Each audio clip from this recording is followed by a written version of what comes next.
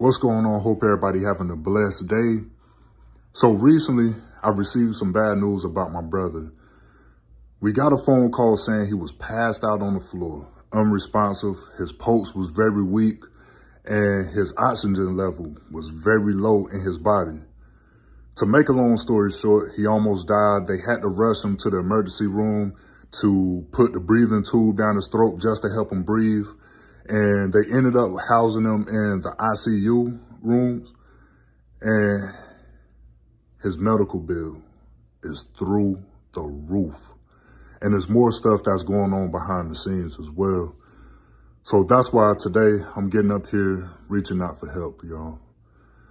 If you feel led in your spirit to want to help us, all the information will be in the link in the bio keep me and my family in your prayers. I will keep y'all in my prayers. And even though this sounds real, real, real bad, it has definitely boosted my faith. It made me just want to believe even more in the Heavenly Father. Because one thing I do know, nothing happens by chance. Everything happens for a reason.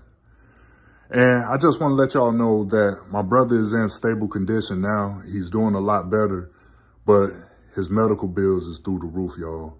And there's other stuff that's going on as well, y'all.